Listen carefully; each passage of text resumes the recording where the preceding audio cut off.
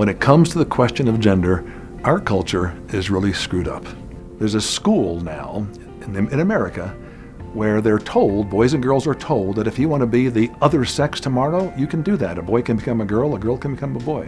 On the other extreme, we have a lot of people that take the position that women know your place, know your role, men are in charge, men are the leaders, and you have no place in taking any kind of leadership role whatsoever.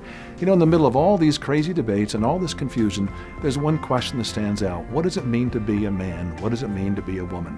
I wanted to understand the answer to that. I wanted to hear what God has to say about that. And after studying it, I've come to this conclusion. And it's the big idea of the book, which can be summarized very simply in two parts. Part number one a woman is most feminine to the degree that she's relating in a way that reveals something wonderful about God that no man can as fully reveal.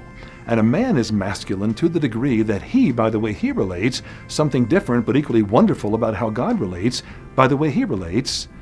And that's the definition of what it means to be relationally feminine relationally masculine. I've dealt with lots of problems in my years as a psychologist sexual abuse and divorce, miserable marriages, all sorts of things. And I've believed that when you get beneath so many of these problems, you discover that men and women are not living fully alive in their gender. Irenaeus a third century theologian, said something that's gripped me for years. He said this The glory of God is a human being made fully alive.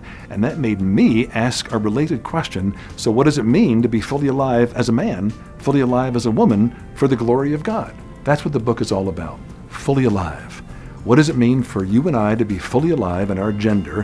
What is God's vision of gender that frees men and women to live beyond stereotype? The answer may surprise you, but far more important than whether it surprises you or not, I think it might free you to be exactly who you are by God's design.